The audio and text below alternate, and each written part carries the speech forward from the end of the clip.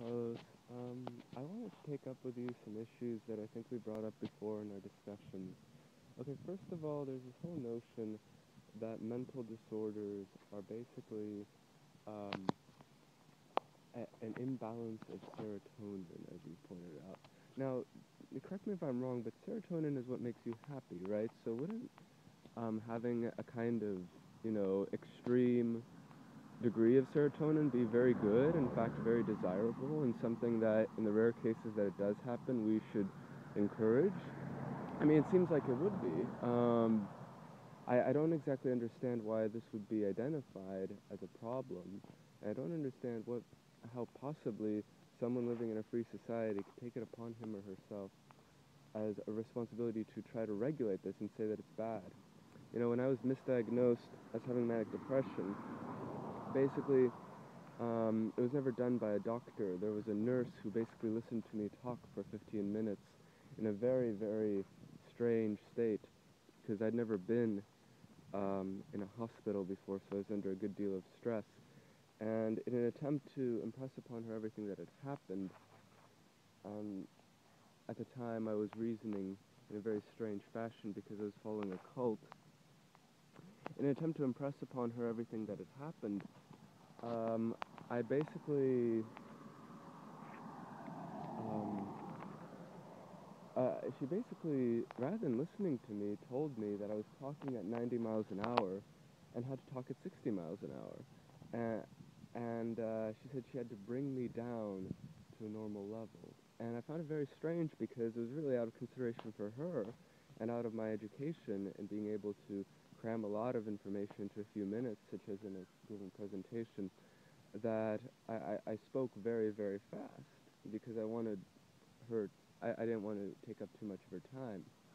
Uh, so she basically gave me a diagnosis without any sort of evidence.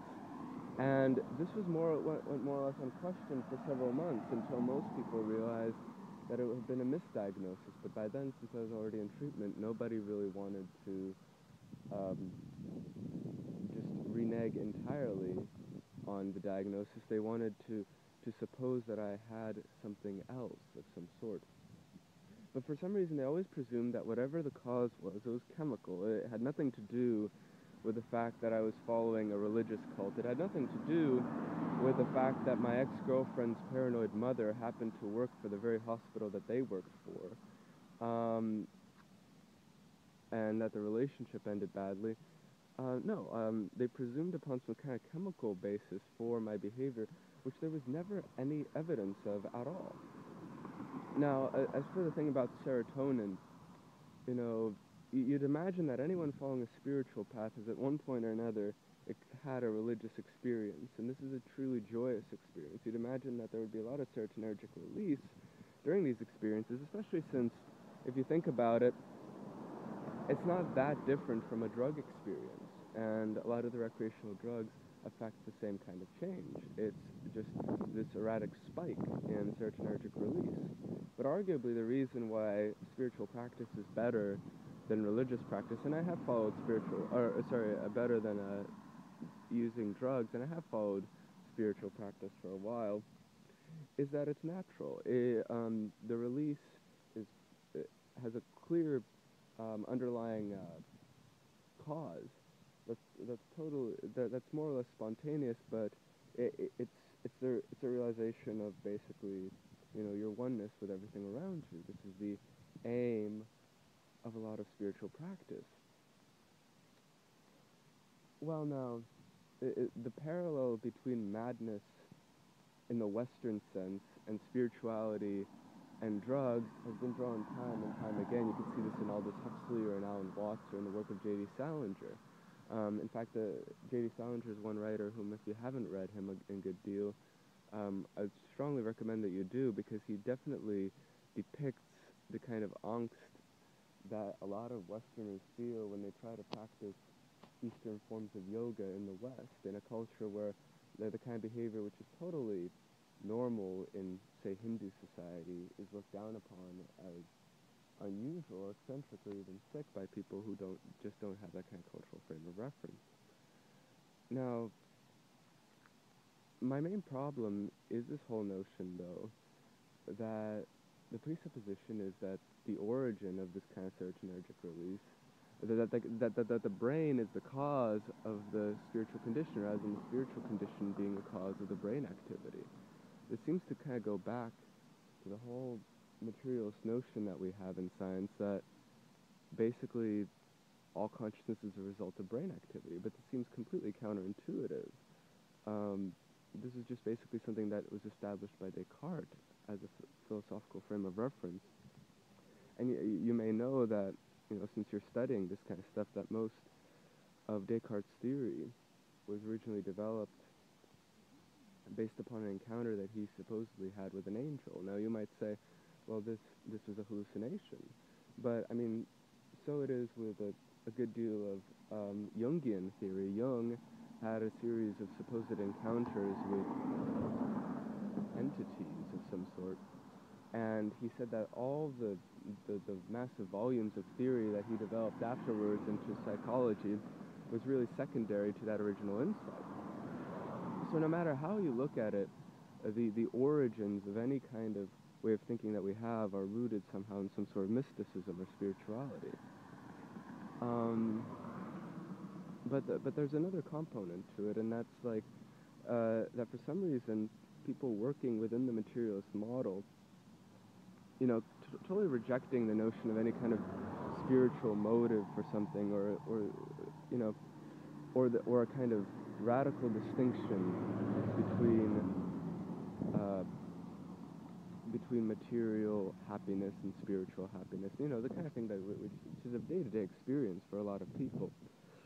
Uh, they reject the work of psychologists uh, like Jung and Erich Fromm and Sigmund Freud as, as, as, being somehow outdated or, or, as you put it, disproven. And this is the second point that I want to contest. Because uh, these are things which there have been so much overwhelming anecdotal evidence for, so much, uh, so much positive regard and gratitude for the contributions of these people who've given us actual maps of human motivation, not based just on science, but based on the arts, based upon what we know from poetry and the humanities and all these things. Uh, that uh, it, it's impossible to disprove them, in a sense. It's like saying, well, I'm going to disprove God. Well, you can't disprove God based upon the absence of personal experience, uh, because personal experience could prove something that could be called God to an individual. But in the absence of that, you're not entitled philosophically to rule out the possibility. The fact that you can consider a possibility means it's a possibility. And and being reductionistic about it isn't going to help because there's so many people who've had religious experiences that it just seems totally silly um, to take the negative approach. It's like always denying the existence of something the burden of proof is so much greater upon anyone as opposed to affirming the existence of something. But this is all common sense, you know. Um, so, and, and very important. So, there's that whole aspect to it. So, you know, Jung's work has been so influential and so important and so helpful to so many people it seems like there's no real way of disproving it. The only way to possibly falsify it is to continue it and to somehow revise the theory of the archetype. But now, on this issue of the theory of the archetypes, you know, when I believe myself to have bipolar disorder, I was always trying to figure out, well, what exact activity is it that I'm doing that's so strange? People impressed upon me that, you know, my behavior was unusual, but I mean, I had no way of knowing, well, what, which behavior in fact was unusual. I mean, I'm certainly not in the neurotic habit of behaving merely in an imitative way, um, in a fake way, in order to impress upon people that I'm normal. That's exactly contrary to, I think, the aims not only of psycho psychoanalysis, but of human life in general. So I was really intent on trying to figure out, well, what exact behavior that comes out of me spontaneously could possibly be tarnished. And what I found, looking back on it, looking up back at it from a Jungian perspective, or something which has helped me in many aspects of my life, is that I was really trying to figure out, well, which of the archetypes, which of the central human um, driving mechanisms which Jung found and which appeared in culture after culture was really um, was really the problem. Is it the reasoning intellect? Is it um, the capacity for you know lateral thinking? Is it uh, is it one of the more emotional impulses? Is it uh, is it the inventive impulse? What is it exactly? You know, is it Mercury? Is it Hephaestus, so to speak? Um, well, the truth of the matter is, this kind of reasoning is no different from the kind of religious reasoning I had at the time, which is that of uh, the fallacy of the higher self. Um, the notion that you know there are some aspects of our psyche which should be repressed and others which need to be um, encouraged. But you see that this notion goes back to our religious tradition in the West, a very a very outdated religious tradition. But but essentially the the, the way that I was treated by the mental health staff was really no different at all from the way that people were treated in puritanical society. It's this whole notion that there are certain aspects of the psyche which, rather than let, uh, being allowed expression and being allowed to more or less attain some kind of uneasy peace between themselves, should be repressed entirely by a patriarchal ego and, and, and should, should not be given any kind of expression and should be kept in check. But you know, it's very strange that in our scientific frame of reference, somehow people don't draw this parallel between, you know, the kind of Puritanism that you see reading Hawthorne's literature and the kind of Puritanism that you see in the psychiatric community. There, there's this whole notion that man's nature essentially can't be trusted. And then there's the, the whole myth that there's a genetic basis for these, for these more or less invented um, categories of labeling people. Um, now, genetics, time and time again, has been proven to be fairly overrated. It, it, it, I mean, genes code for proteins, and whatever predisposition they may create, it's been shown time and time again by scientists that really environment will really be the determining factor in what genetic predispositions will be allowed expression. In fact, uh, even some genetic predispositions change over the course of one's lifetime. So, uh, when you, especially if you study the history of psychiatric illness, what you find is that the, the word mental um, illness or mental disorder, well, mental disorder goes back to mental illness, but the expression mental illness is supposed to be just used to describe any kind of illness that we can't find a physical um, cause for.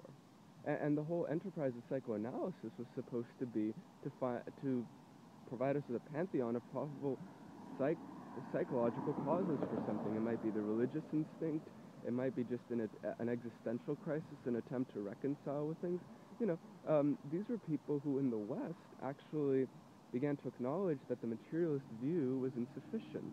Um, and so they studied things like Hinduism, where it, in their very sophisticated model of the human organism, they counted not just for a physical body, but, but, but for a spiritual body. I mean, you might say, you know, Western science has been very complex and uh, successful, but it's always done so in a one-sided way. And I think the reason I'm so distrustful of anyone claiming science as it's practiced in the West to be an absolute authority is because, yeah, it's an, it can be of help to people who um, who are, are, treated well by the medical establishment, but it's not of help to people who are mistreated by the medical establishment. And um, where the interference in one's individual life is really gets fascistic, and I can speak about this from personal experience.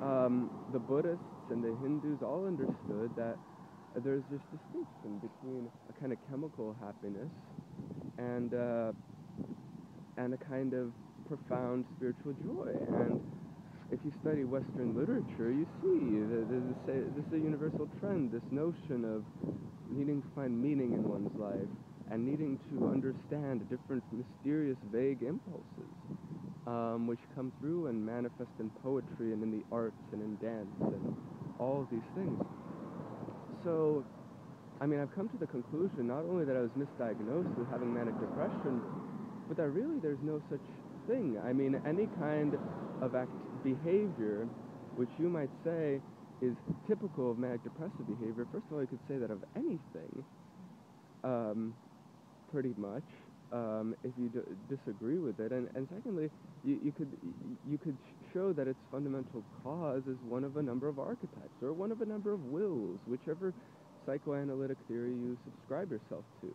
And I think that this whole notion that we have in the psychiatric community of, you know, claiming that the, the lifelong work of a Freud or a Jung was disproven is just a, a way of, of overlooking the facts, of overlooking the facts that, uh, that we're being one-sided here and only tending to the material body and not attending to the spiritual body, presuming that any kind of um, any kind of mental activity has its origin in the brain, and that the origin isn't outside of the brain, acting upon the brain. And I think that if there's any cause for depression, it's this worldview, in fact, because you're basically because I mean, if you really want to reduce yourself to just an organ, a mechanism, not an organism, but a mechanism which responds to things like pain and pleasure entirely, you're going to have difficulty making decisions in your life which involve invoking a will to meaning or something of that nature.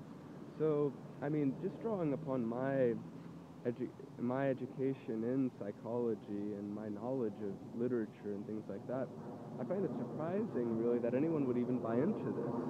Especially since, you know, you can read about stuff in a book, but, you know, a scholar always knows that what, what he or she is being taught contradicts something else somewhere else that he or she read.